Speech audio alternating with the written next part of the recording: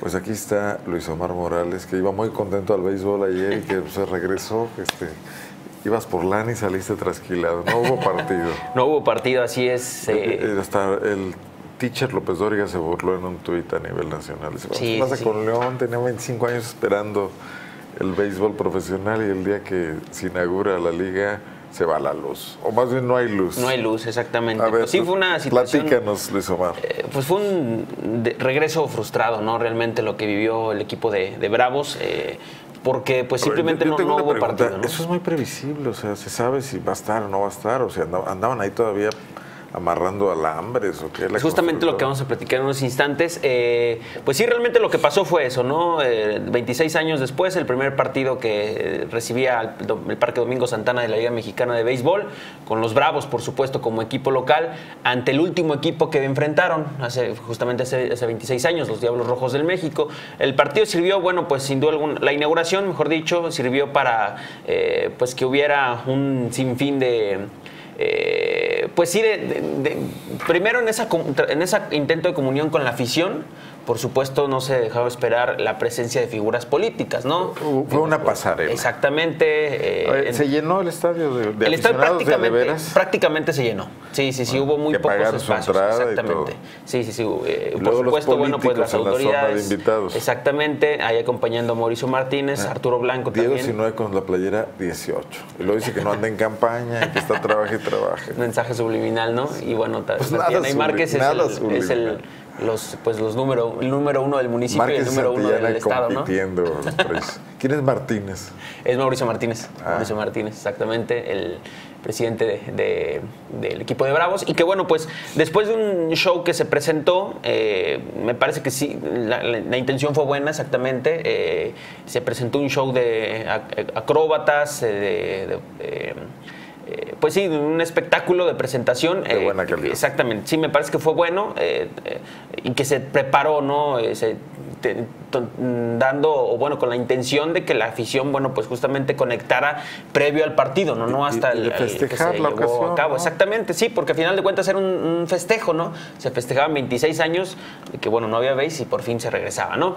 Este, bueno, aquí ah, por la imagen, la cuestión de las gorras, ¿no? Que bueno, los souvenirs que, dicho sea de paso, bueno, pues la gente sigue argumentando que están demasiado caros, ¿no? ¿Cuánto cuesta parece que de Bravos? Las, las cachuchas están rondando los 600 pesos, las gorras. Sí, está Están algo caras, pero bueno. Son las playeras eh, de León, pero bueno. Eh, la cuestión fue, fue esa, ¿no? Eh, se atrasó mucho todo el, todo el, show. está, la inauguración estaba programada a 6.30 de la tarde. no, la gente se empezó a impacientar dieron las 7:15 de la noche, hora en la que estaba programado el inicio del, juego y apenas empezó el, show de inauguración.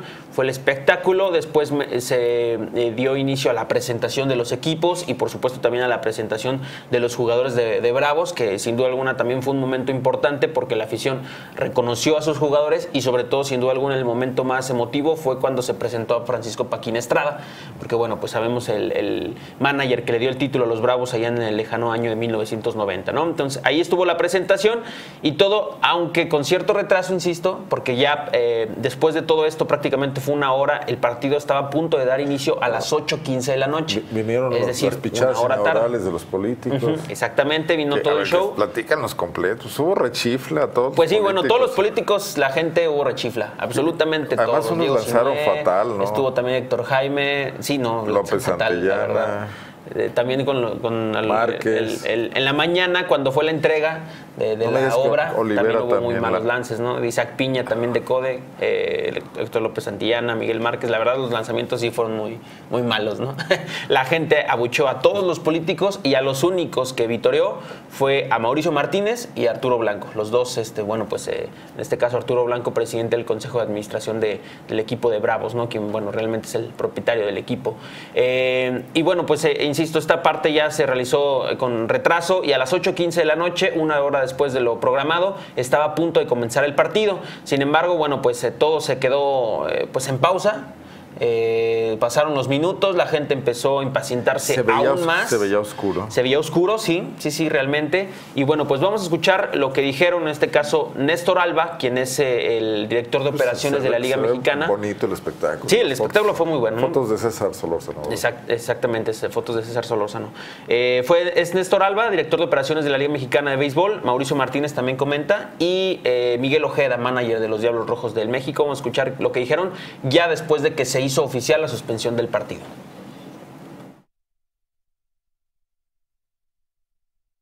La orden viene directo de la liga. Es cosa de la liga. Se descarta el tema de que, bueno, eh, la directiva de Diablos era una de las que quizás no querían el ingreso de, de Bravos de León en el famoso. No, de ninguna forma. Estuvieron, por eso le hablan los dos managers, los dos managers estuvieron de acuerdo y no hay nada.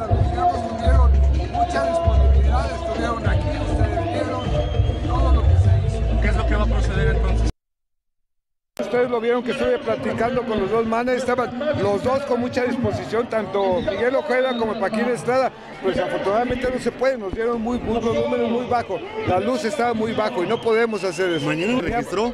Teníamos 400, 500 lúmenos. ¿Y 1500? 1500 abrimos 1000. Okay. Es que aquí la situación es la situación y la seguridad de los jugadores. Un pichón rompiente, una recta no la ves bien no ves cómo se va, que, te va a quebrar la, pelota o cómo viene. Diablo Rojo no quiso jugar. Mauricio, si hay que decir la verdad, Diablo no quiso jugar. Mauricio, represalia de la liga. Ojeda y el Pollo, que es el gerente deportivo, dijeron que no están en sus manos, pero la verdad es que ellos tomaron la decisión, porque ellos le, le, marcaron a Roberto Mansur, y la verdad es que la orden fue desde México, que no jugáramos, pero ellos fueron los que, los que no quisieron jugar. Diablos desde hace mucho tiempo no quiere, Diablos no quiere a Bravos desde hace mucho tiempo. Ustedes saben que el, paso de, la decisión para que Bravos entrara, Diablo siempre estuvo en contra, en contra, en contra. Y el día de hoy les pedimos que sumaran al espectáculo, que sumaran a la gente que estaba aquí, que pagó un boleto. Y la verdad es que fueron fríos, o sea, fríos en el sentido de decir, no está alumbrado, este, no da el alumbrado bien, no jugamos. No, no, eh, al final de cuentas la liga es, por eso es que estaba aquí la liga. De hecho, nosotros llegamos aquí eh, y nos avisaron que, posiblemente nada más iba a ser la pura inauguración el día de hoy y que no iba a haber juego cuando nos dijeron que, íbamos a jugar. Nosotros nos preparamos, nosotros vinimos temprano a batear práctica y todo como si fuera un día normal. Al final de cuentas, te digo, las decisiones de ellos. así me avisaron a mí, así me avisaron, no, no, no, no, no, no. A mí me dijeron de la directiva mía que veníamos nada más a la pura inauguración el día de hoy. Me parece muy interesante lo que comenta el último Miguel Ojeda, ¿no? Que dice, hay, eh, pique, hay pique. Sí, sí, sí, hay pique porque, no bueno... de acuerdo en las versiones. Eh, exactamente. Hay que recordar que, bueno, dentro del... Desde que cuando fueron las asambleas que se dio la aceptación de, Bravos en noviembre pasado, eh, el propietario de los Diablos Rojos del México, que es Alfredo Harpelú, uno, pues también de los hombres más ricos de México, pues siempre estuvo en contra. Es de los nombrados, pues de los conservadores, por así decirlo, de los grupos de los, de los dueños de los equipos eh, pues que se mostraban eh, en, contra, de, em, mejor dicho, eh, a favor de que se mantuviera libre en la cuestión de los mexicoamericanos, ¿no? de los denominados pochos. Y bueno, Mauricio Martínez, aunque a lo mejor no ha estado el 100%, forma parte de los empresarios más jóvenes, ¿no? de los llamados de la nueva generación. Este, y entonces Diablo Rojo siempre, siempre se mostró en contra del ingreso de los Bravos de León. Otra cosa, eh, bueno, es una parte, digamos, el cierto pique que existe, ¿no? Y bueno, Mauricio Martínez lo dejó muy, muy en claro, que bueno, pues Diablos Rojos de México fueron quienes no quisieron jugar. Este, eh, él comentó que, bueno, pues eh, señalaba que fue Miguel Ojeda, quien vimos en entrevista, manager de Bravos, y también el gerente deportivo del equipo de México, quienes se comunicaron con Roberto Mansur, quien es el dueño. De Diablos, ¿no? Sí, sí, sí, de, Diablos. Roberto Mansura es el presidente eh, del equipo de Diablos. Eh, se comunicaron con ellos para que hablaran directamente con la liga para que no se jugara el partido. ¿no? A final de cuentas, la liga, que es obviamente es la que tiene la facultad, es quien determina y a través del director de operaciones que vimos ahí en entrevista, eh, Néstor Alba es quien, bueno, determinan este, suspender el partido. ¿Cuál fue el argumento de la liga? que no había la, eh, la suficiente cantidad de lúmenes en ah, cuanto a la iluminación. A ver, pero entonces explíqueme algo. No, no falta poner nada, sino que la iluminación es deficiente según Bravo, según Diablos. Eh, eh, exactamente. O sea, no es que falló el, el, contratista y bueno, bueno ahorita, ahorita, vamos a esa parte, nada más quiero terminar la cuestión de, de, por qué se suspendió el partido. ¿no? En la zona de home había, de acuerdo al, oficial, el, director de operaciones de la liga, eh, había nada más eh, entre 400 y 500 lúmenes, ¿no? Como lo comentó, cuando reglamentariamente se requieren por lo menos 1000. Y en el jardín había cerca de 150 o 200 lúmenes cuando se requieren por lo menos 400 en los jardines, tanto central como ahí vemos la, la fotografía, como el exterior sí se alcanza a ver un poco eh, oscuro, ¿no? Este fue la- el argumento de la Liga Mexicana, por lo cual se suspendió el Y partido. no hay nadie que supervise esto antes. Pues, qué Ahora, seriedad. ahora vamos a esa parte, ¿no? gente, hay que recordar que ayer por la mañana se hizo la entrega de Como las si obras. pases una cancha de fútbol que no tiene las medidas reglamentarias, ¿no? Digo, Que bueno, por ahí también se quejaron de las medidas, ¿no? Pero ahorita lo más importante es la iluminación. Eh, hay que recordar que ayer por la mañana se hizo entrega de, la entrega de la obra de parte del y es municipio una del de las equipo. 400 obras Exactamente. emblemáticas. Mientras se hacía el evento protocolario, aún se estaban trabajando la parte de las gradas, que son las que vemos al fondo. Eh, incluso esa grada no tenía la estructura de las bases, eh, bueno, bueno, donde van los, lo- pues sí, la- la- el graderío, no las butacas, mejor dicho. Este, apenas esa grada se colocó, se colocó instantes antes, no horas antes de- del partido. Está con riesgo, Eh, ¿no? Pues sí, sí, sí, realmente, aunque sí están eh, eh, pues eh, atornilladas y toda la cuestión, pues sí existe un riesgo, ¿no? Por la premura. A- afuera también la parte externa también había buena parte de, de- de, pues, de trabajo sin, sin terminar, ¿no?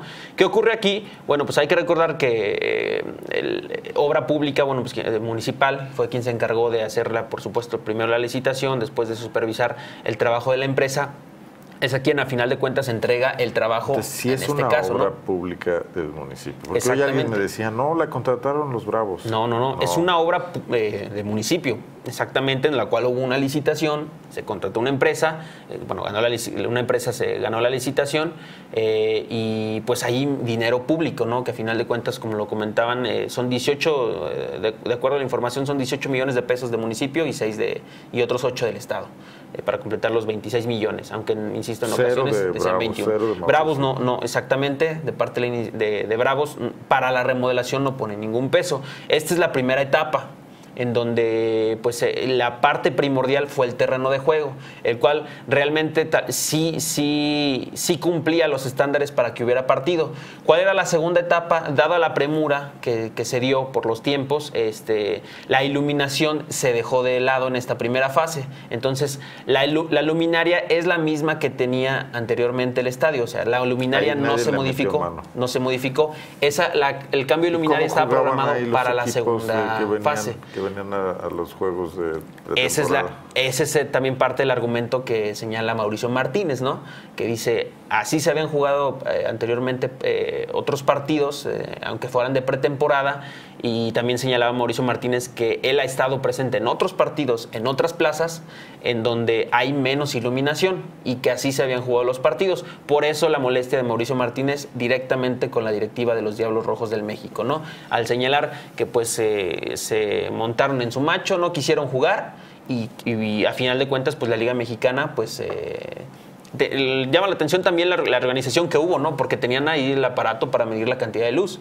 Entonces el propio eh, eh, director de operaciones de la liga fue quien determinó esto. Entonces, pues hay muchas versiones. Lo cierto es que la obra eh, se entregó sin finalizar.